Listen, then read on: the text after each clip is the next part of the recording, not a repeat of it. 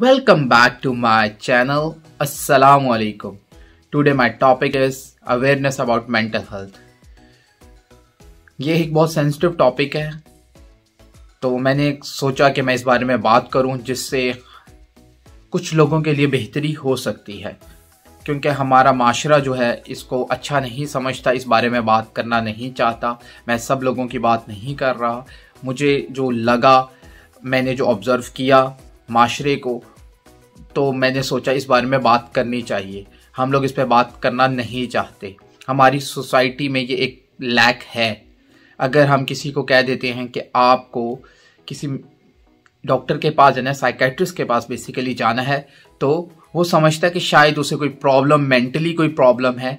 ऐसा कुछ नहीं है, लाजमी नहीं कि आप किसी साइकेट्रिस्ट के पास जाएँ तो आपको कोई मेंटल प्रॉब्लम ही हो। हमारे यहाँ बेसिकली लोग ये समझते हैं कि साइकेट्रिस्ट सिर्फ़ पागल लोगों को ट्रीट करता है। ऐसा कुछ नहीं है। सोसाइटी के अंदर इतनी प्रॉब्लम्स हैं कि हम लोग उनसे बचने के लिए कुछ ना कुछ करते रहते हैं, कुछ ना कुछ सोचते रहते हैं, जिसकी वजह से हमें मेंटल प्रॉब्लम स्टार्ट हो जाती है। ना चाहते हुए भी हमारे साथ बहुत सी बीमारियाँ लग जाती हैं। कोई इधर मेडिकली टर्मिनोलॉजीज या कुछ ऐसी चीज़ों को लेके नहीं आऊँगा। मैं सिर्फ़ एक मैसेज देने की कोशिश कर रहा हूँ कि गाइस साइकेट्रिस्ट सिर्फ़ पागल लोगों को ट्रीट नहीं करता साइकोलॉजी सिर्फ़ पागल लोगों से रिलेटेड नहीं है, हम आम लोगों से रिलेटेड भी है। हम लोग नहीं सोचते कि हमारे साथ क्या हो रहा है।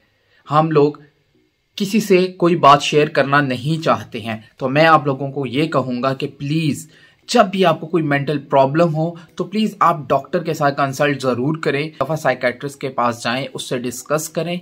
डिस्कस करेंगे तो वो बेहतर एडवाइस देगा। ये नहीं है, हमारे यहाँ एक और ये प्रॉब्लम है कि हम कुछ भी एंग्जाइटी कुछ भी फील करें, कुछ भी करना चाहते हैं अपनी लाइफ में तो हम सबसे पहले गूगल को सर्च करते हैं। मैं ये नहीं कहता कि गूगल एक बहुत बुरी चीज़ है।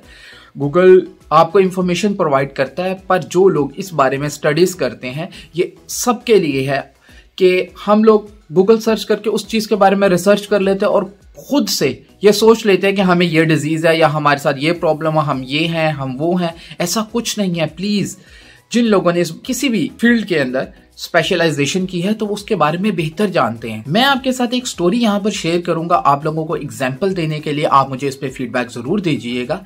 एक बहुत ही यंग कपल होता है, वो एक दूसरे को पसंद करता है और उसके बाद क्या होता है कि वो लोग एंगेजमेंट कर लेते हैं। एंगेजमेंट करने के बाद उनकी शादी हो जाती है।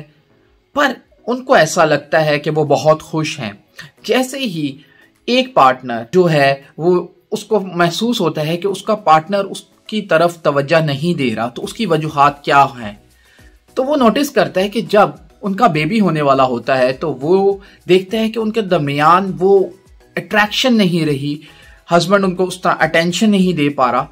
तो वो बहुत ज़्यादा एंग्जाइटी का शिकार हो जाते हैं। एंग्जाइटी का शिकार होने की वजह से वो क्या करते हैं कि एक दिन ऐसा होता है कि वो अपने पार्टनर को देखते हैं कि उसका बिहेवियर बहुत ज़्यादा डे बाय डे चेंज हो रहा है। उसका फ़ोन चेक करते हैं या कुछ भी वट एवर उनको पता चल जाता है कि उनका पार्टनर उनके साथ लॉयल नहीं है। वो किसी और में इंटरेस्टेड है। जब ये सब कुछ पता चलता है और उसके बाद वो अपने पार्टनर से क्वेश्चन करते हैं कि तुमने ऐसा क्यों किया? तो वो कहता है कि I am not interested in you और वो ये साफ़ साफ़ कहता है कि मैं तुम्हें इंटरेस्टेड नहीं हूँ और मैं ये सब कुछ खत्म करता हूँ। और उस इंसान की लाइफ स्पॉयल हो जाती है। स्पॉयल होने के बाद वो इंसान सब कुछ इतना ज़्यादा टूट जाता है कि वो इंसान अपनी फैमिली के पास बैक आता है और उसकी फैमिली यही उसे कहती है कि, सब तुम्हारी गलती है, तुम ये, तुम वो। जो एज यूजल हमारी सोसाइटी में all over the world different तरह के क्वेश्चन रेज होते हैं। हर कोई ब्लेम करना शुरू कर देता है एक दूसरे को। इतना ज़्यादा तंग आ गई है कि वो चाहती है कि मैं बस अपनी लाइफ को खत्म कर दूँ। उसका बेबी भी हो चुका है, पर वो रोज अपने घर के अंदर अपने पेरेंट्स की इतनी आर्गूमेंट सुनती है, इतनी बातें सुनती है कि वो कहती है कि बस मेरी लाइफ खत्म हो गई। तरीके ढूंढना शुरू कर देती है। तरीके ढूंढना शुरू करती है तो उसको बहुत से तरीके मिलते हैं। उनमें से वो कोई एक तरीका ढूंढ लेती है और वो अपने बच्चों के नाम, जो भी हैं, उनके नाम खत लिखती है कि मैं ज़िंदा नहीं रहना चाहती, मुझे माफ़ कर, जो भी वट वो उसे एक स्टोरी एक खत में लिख देती है और वो चली जाती है घर छोड़ के।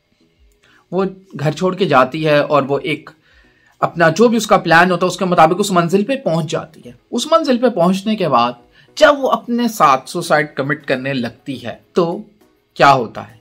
सडनली उसको ख्याल आता है, कोई एक ऐसी विल है जो उसे कहती है कि this is not a solution जबकि उसने अपने उस बैग में भी एक खत लिखा होता है, जिसमें उसने बताया होता है, मैं कहाँ से बिलोंग करती हूँ, मेरे पेरेंट्स कौन है, मेरे बच्चे ईच एंड एवरीथिंग उसमें होता है। पर वो सुसाइड करने से पहले उसको एक एहसास कह लें कि आता है, उसको एक चीज़ होती है जो उसको झंझोड़ती है, उसे कहती है कि तुम गलत कर रहे हो। पर वो उस वक्त तो रुक जाती है।